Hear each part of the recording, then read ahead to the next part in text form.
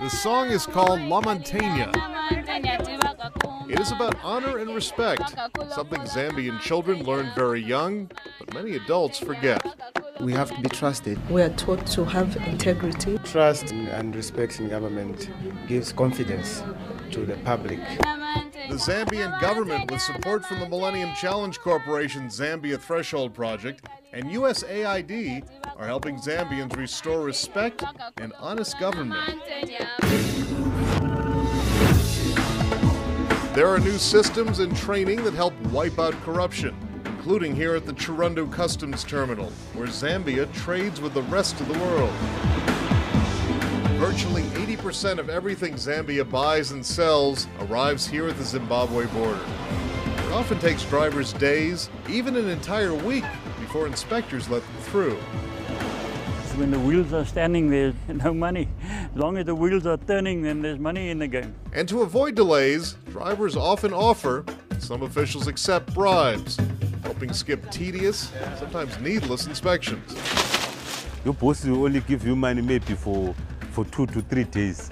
But you come here, you spend about a week. Zambian Customs and Immigration is working with the Threshold Project to help end that wait by building a new multi million dollar inspection center and passenger terminal. Well, I'm very excited when I see this facility because this facility shall help us deal with most of the problems that we have. When trucks sit here, those are costs. They have to pass it on to the final consumer. With the completion of this facility, it shall help the country to reduce the cost of doing business. Skipping inspections with a bribe can cost Zambia 10 million kwacha per truck in lost taxes. Zambia is eliminating that temptation with USAID assisted software that shares information with each agency, allowing direct import payment fees, driving corruption off the road. The intervention by the USAID just came in at, at the right time for us, really when we're thinking of modernizing our customs uh, operations, and they came in with a lot of assistance of just improving the efficiency at the borders. When you have a lot of congestion at the border, you're creating an environment that is just fatal for corruption. If we can cut that and eliminate delays at the border, we'll be doing our part in helping uh, our country develop.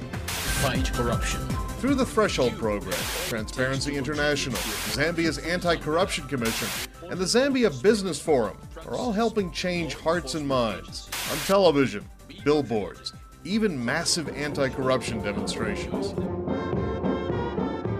Let those who write, write about corruption, and those who report, report about corruption. People have lived for a long time thinking that uh, corruption is the way of living. It's, it's actually stealing from um, each and every average Zambian. This is the more reason why we are now sensitizing people to report all these activities to us so that they are eradicated.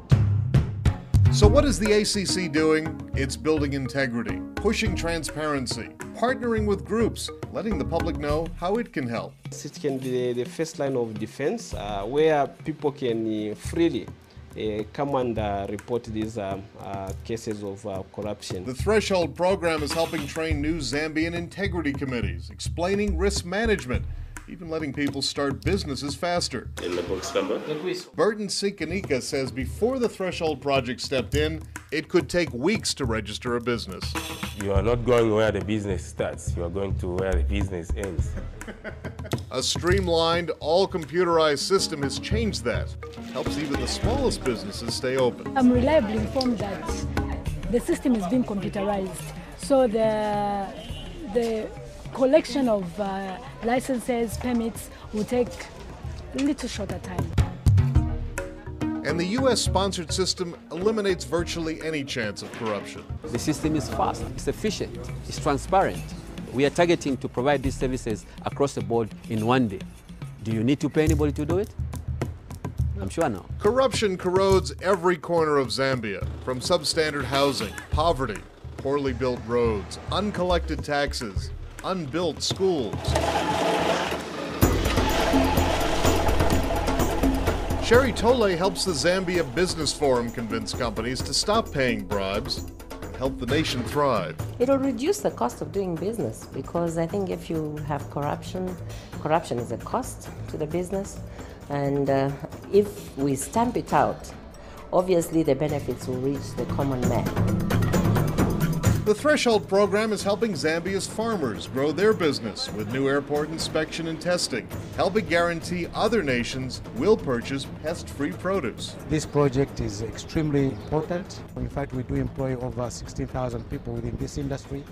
And if we can do a little bit more, it means that population of em- employees will go up. It means for us a reduction in poverty levels within the country. From the border to housing, every part of Zambian society. Partnership, education, enforcement. Zambia's government's working with the Millennium Challenge Corporation to generate results, helping exports blossom, and finally helping Zambia businesses thrive. We're people that believe in ourselves. This is the place to be, and we don't want any barrier to stop that from happening. We're very excited about the economic development that's going on, and whatever any institution or any part of government can do to help build on that and really make sure we deliver our dreams of economic development.